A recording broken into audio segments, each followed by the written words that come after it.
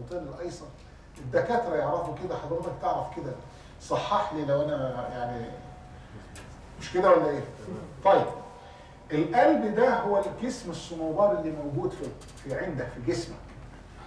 أبو حامد الغزالي وابن القيم رحمه الله وغيره يقول إيه؟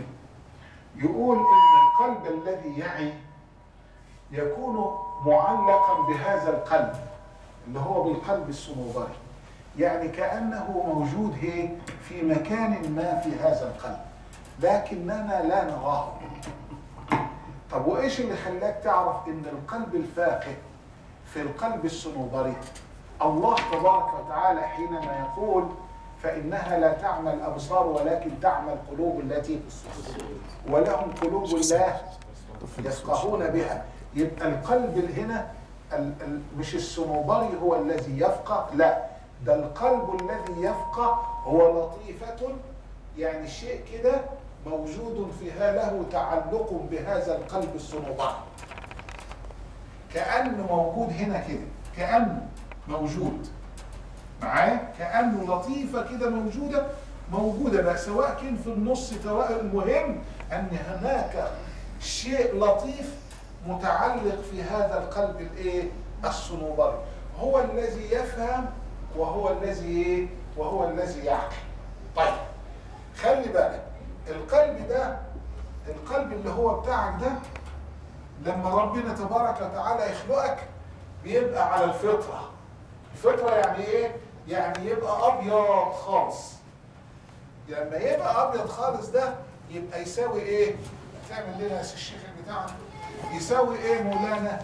خلي بالك يبقى يساوي إيه؟ يساوي الشرع. خلي بالك يساوي الدين.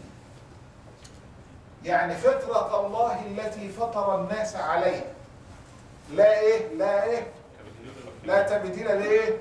يبقى ال- ال- البياض دون كل مولود يولد على الفطرة فأبواه يهودانه أو ينصرانه أو يمجسانه. ماشي الحال؟ أصل هو الإنسان إيه؟ قال الإنسان هذا يشرحه القرآن. معايا فيك. الإنسان يشرحه يبقى أنت ده قلبك حينما تولد. طب قلبك افرض إنك قلبك حينما تولد ما زلت وأنت الكبير وأنت كبير كده قلبك زي ما هو لم يتغير بأي شيء. فهو فهو فهو كما إيه؟ على الفطرة. فهو على الإيه؟ على الفطرة. قال لو أن هناك قلب على الفطرة لعلم لعلم لعلم من أمر الله تبارك وتعالى الكثير.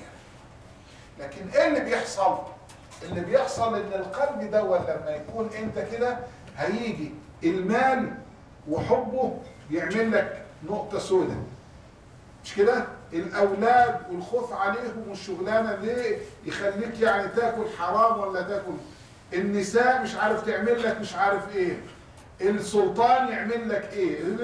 يعمل لك إيه؟ يبقى القلب إيه؟ فيه نكات سوداء. مش كده ولا إيه؟ صح؟ طيب لما يجي أنت بتعمل إيه؟ الشرع بيعمل إيه؟ القرآن بيجي هنا؟ القرآن أهو. مش كده؟ اللي جه مع ما أنزله الله على الرسول. يجي تقرأه على قلبك. لما تقرأه على قلبك يروح نازل على النقطة السوداء دي. يروح مسيحها كده. مخليهاش بقى موجودة بعد أن كانت سوداء أصبحت إيه؟ بيضاء تزيد أنت من قراءة القرآن والصلاة يجي على النقطة السوداء المرة الثانية يروح إيه؟ مسحها يبقى إيه؟ وهكذا ينزل القرآن والصلاة والصيام فيمسح النكات السوداء حتى يعود القلب أبيض كما كان على الفطرة أنت معايا ولا لا؟ يبقى هو القرآن والصلاة والصوم والصدقة والأشياء دي بتعمل إيه؟ قال ترجع القلب إلى ما كان عليه حينما ولد الإنسان على الفطرة مش كده ولا إيه؟ وذلك عمل الرسول هو الذي أنزل الله عليه القرآن وتكلم النبي بالسنة عليه الصلاة والسلام ليه؟ لأنهم يرجعون القلب إلى ما كان عليه فين؟ في الفطرة. يبقى هنا نقول هل أنت قلبك قد رجع إلى الفطرة التي خلقك الله عليها؟ أم كم من قلب نسبة قلبك فيه سواد وفيه بياض؟ وما علامة السواد فيه وما علامة نسبة البياض فيه أنتوا معايا ولا؟ نعم. ها؟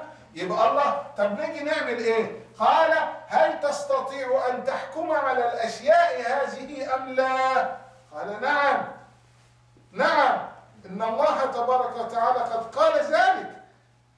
قال فأما ثمود فهديناهم فاستحبوا العمى على الإيه؟ إذا هداهم أراد أن ينزل عليهم إيه؟ منهج يطهر لهم قلوبهم. فعملوا إيه؟ قال لك لا إحنا مش عايزين المنهج ده. حتى تبقى قلوبهم إيه؟ سوداء. ها؟ سوداء. مش كده ولا إيه؟ فلما تبقى قلوبهم سوداء أيفعلون الخير أم يفعلون الشر. إذا أردت أن تحكم على قلوب الناس نحن لا ندخل على قلوب الناس يعني على فلان ولا على إحنا بنتكلم كلام عام. عشان مفيش حد يجي يشوف واحد يقول له الله انت قلبك أسود الله انت قلبك لا هذا كلام فارغ. أنتوا معايا ولا لازم تكون دقيقين في اللي إحنا بنتكلم كلام عام منهج عام. المنهج العام واقع في كثير من المسلمين الآن. إيه هو؟ قال أعمالهم تدل على قلوبهم. ما هو لك يعطيك من فم اللسان حلاوة ويروغ منك كما يروغ الثعلب. فإذا كان في مش ثعلب هو كان الكلام هو الصدق الذي يفعله حاله ولذلك قالوا من لم يدلك على الخير إيه؟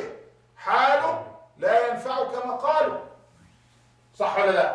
طب من إيه ده؟ قال إذا كان القلب فيه نسبة الإيمان في البياض أكثر من السواد يكون هذا القلب خيره أكثر من شره.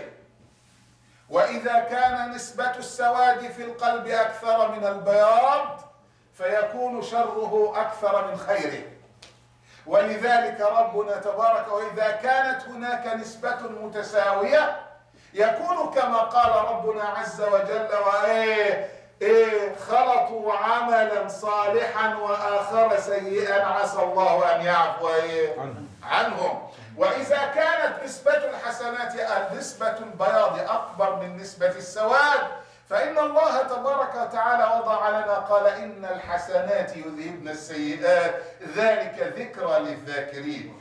أنت تسأل نفسك أيها المسلم كم نسبة بياض قلبك وكم نسبة سواده وتعرفه ذلك من عملك الذي تقدمه من صلاتك وصيامك وحجك وتعاملك مع إخوانك وتمني الخير للناس وفعل الخير والصدقات وغير ذلك من هذه الأشياء. فإذا كان الخير يغلب عليك فإن نسبة البياض في قلبك أكثر من نسبة الإيه؟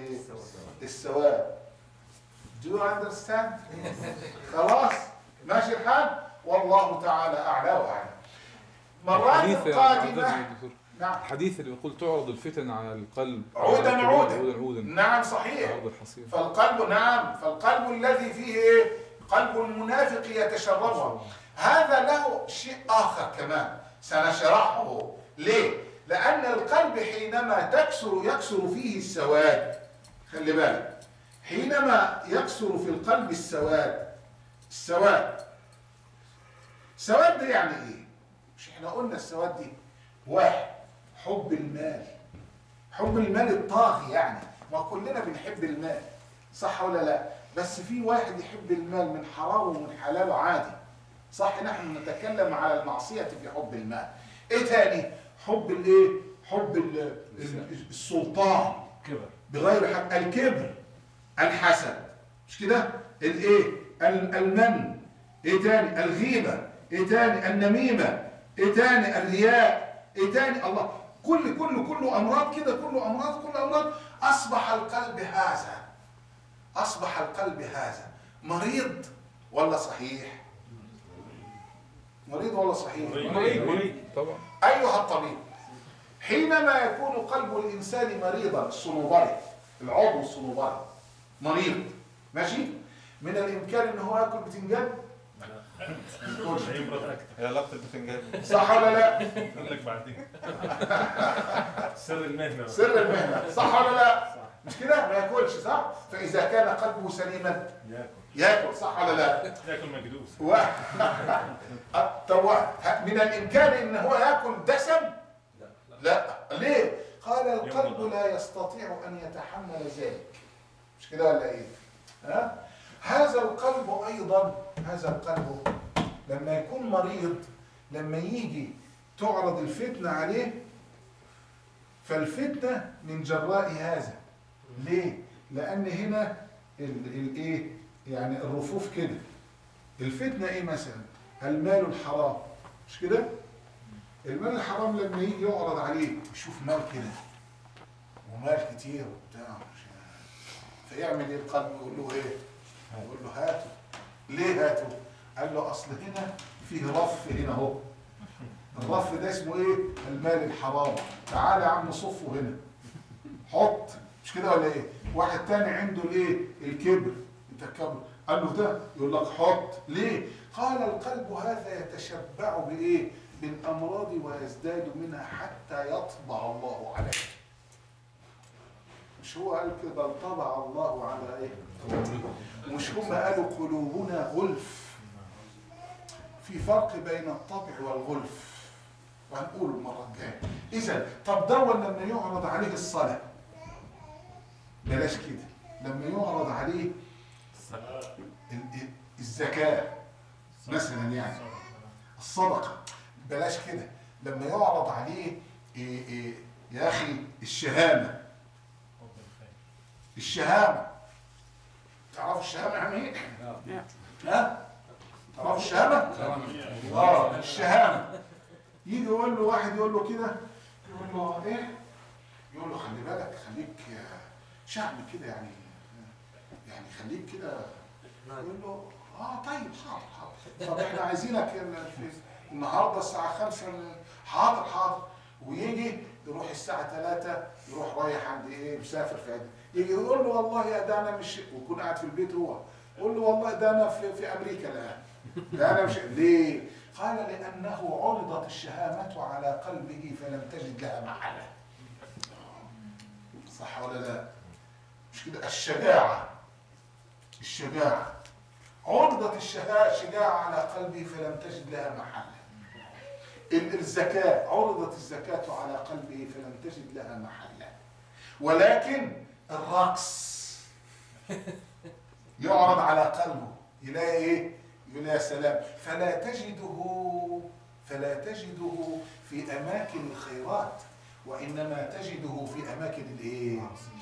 بخلاف القلب الأبيض دوت يلا نصلي يلا نصلي. يلا نزكي يلا نزكي. يلا نعمل الخير نعمل الخير. يلا نقيم الليل يلا نقيم الليل. يلا نعمل كذا يلا نعمل كذا. ليه؟ قال لأن كل فعل من هذه الأفعال الخيرة له فيها إيه؟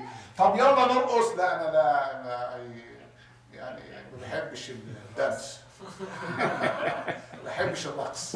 لا لا لا. طب يلا لا لا لا ما فيش ليه؟ وهذا الفرق بين هذا وبين أنت بقى أنت أنت أنت اللي قاعد قدامي دلوقتي واللي بيسمعني من أي القلوب هي عشان تحصل إيه؟ عشان هل من الإمكان أن تبلغ مرتبة الصديقية أو التحديث أو الكشف أو الفراسة أو يكون عندك إلهام بخير أو إفهام أو تنتفع بالإيه؟ بالبيان العام أو البيان الخاص أو الرؤية الصادقة. كل ده لازم أنت فين من هذا يا عبد الله؟ وإلى لقاء يرحمه وصلى